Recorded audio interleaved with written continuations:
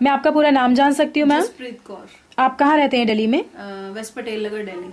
कितने साल का है आपका बच्चा? छः छः साल का। आप क्या देख रहे थे अपने बच्चे के लिए मैम मेन स्कूल जहाँ पे सब कुछ हो स्पोर्ट्स का हो जहाँ पे टीचिंग लेवल अच्छा हो टीचर्स का और जहाँ पे क्लास में बच्चे एटलीस्ट थर्टी थ्री हो ना कि फिफ्टी थ्री हो।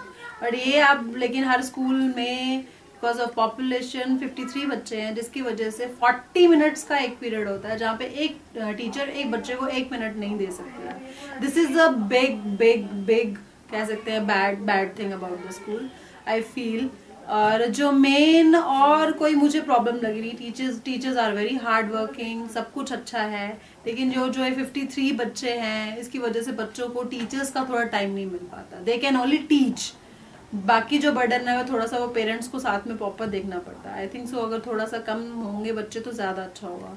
अदरवाइज़ और जो है मेन स्कूल में एक थिंग मुझे और अच्छी लगी, ये द काउंसिल काउंसलिंग जो है इनकी बहुत अच्छी है। इवन अगर केस में बच्चा अगर थोड़ा प्रॉब्लम कर रहा है, जैसे बच्चा थोड़ा सा स्टब बन है या कुछ है तो they they they said to come to the parents and meet with us और उनकी प्रॉपर काउंसलिंग होती है कि बच्चे को कैसे रखा जाए कैसे नहीं रखा जाए। आई थिंक सो कि सबका होना चाहिए कि काउंसलिंग ज़रूर होनी चाहिए।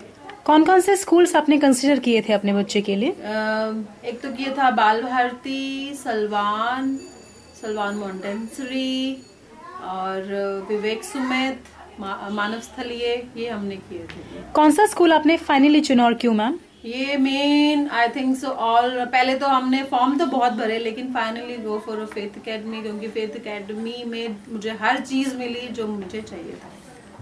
एक्सेप्ट द फिफ्टी थ्री बच्चे कैसा एक्सपीरियंस रहा मैम आपका फेथ अकेडमी स्कूल के साथ? कुछ ऐसी दो बातें जो आपको बहुत अच्छी लगी हो उस स्कूल के बारे में? ये है कि मेरा बच्चा मेरे छोटे बच्चे की वजह से जो दो साल का उसकी वजह से थोड़ा इग्नोर होने की वजह से वो स्टब बन हो गया था। सुनता नहीं था किसी की। स्कूल में इवन के टीचर्स ने उसको बोला तब भी वो नहीं सुनता था। उन्होंने हमें फिर बुलाया और हमें सारा समझाया कि आप बच्चे ऐसा ट्रीट करो सो so दैट कि वो अच्छे से सुन सके। उसके बाद मैंने ये कर जैसे उन्होंने बोला हमने वैसे ही किया और अब बच्चा मेरा बहुत अच्छा है ठीक है I think so this is Faith Academy school के साथ कुछ ऐसा जहाँ इम्प्रूवमेंट की ज़रूरत हो आपके हिसाब से?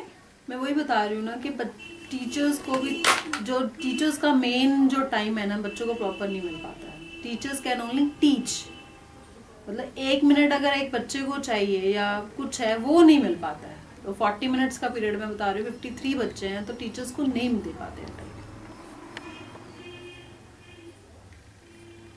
फेथ अकेडमी स्कूल को आप दूसरे पेरेंट्स को रिकमेंड करना कितना पसंद करेंगे वन टू फाइव के स्केल में? स्कूल की पढ़ाई में कोई प्रॉब्लम नहीं है कुछ नहीं है। तो मैं तो मैं तो सबको बोलूँगी कि they go for one two five के स्केल में आप वन का मतलब लीस्ट रिकमेंडेशन फाइव का मीन मतलब हाईली रिकमेंडेशन तो कितने मार्क्स देना चाहेंगे thank you thank you so much ma'am